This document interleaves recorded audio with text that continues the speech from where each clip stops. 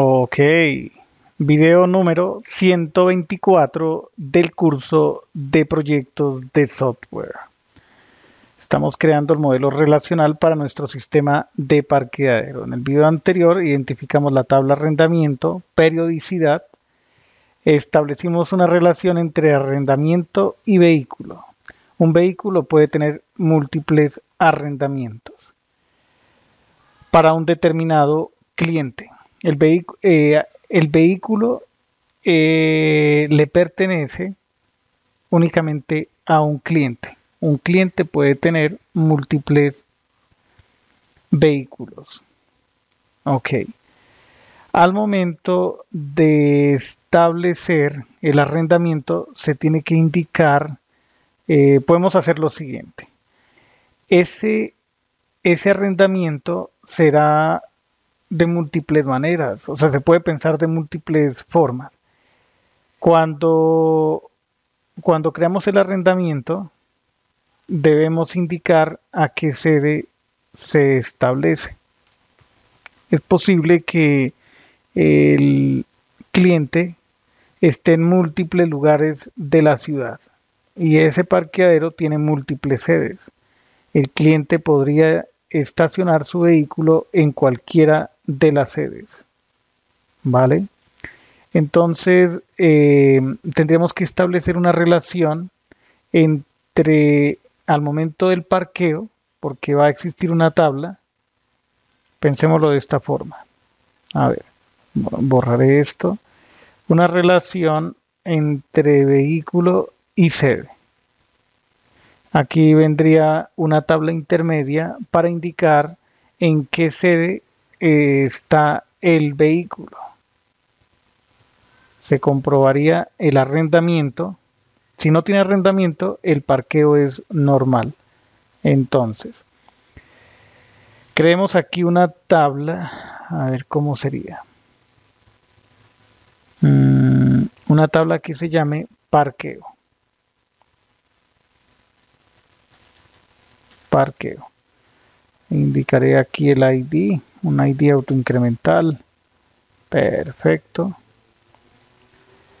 Entonces, eh, cuando se realiza un parqueo, debo indicar el módulo. Entonces, ¿cómo sería aquí? El, el módulo puede asignarse a múltiples parqueos en diferentes tiempos.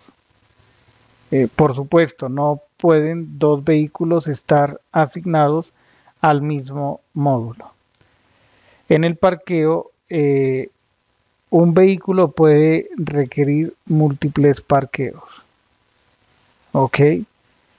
Entonces yo creo que la relación entre parqueo y sede no es necesaria. ¿Por qué? Porque navegamos de desde parqueo a módulo y yo sé que con la llave sede puedo ir hasta acá. Vale listo. Eh, ok. El arrendamiento tendrá un medio de pago. Esta es otra relación. Un medio de pago puede estar asociado a múltiples arrendamientos. Ahí ya está esa relación. Vale.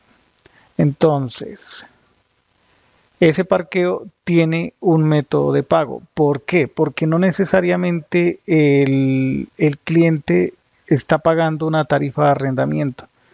Entonces, en el parqueo, un medio de pago está asociado a un parqueo. Agregaré a esa mm,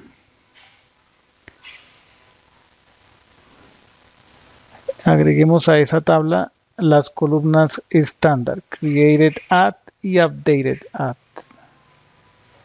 Las voy a copiar, copy.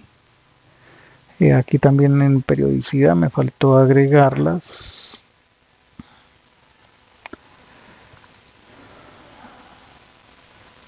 Listo. Ya está.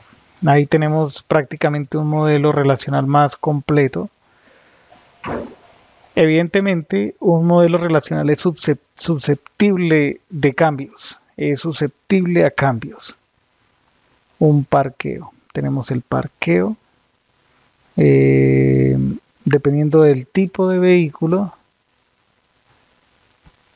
del tipo de vehículo, así va a ser la tarifa, lo que se le debe cobrar.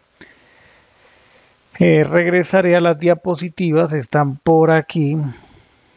Tarifa, arrendamiento, tipo vehículo.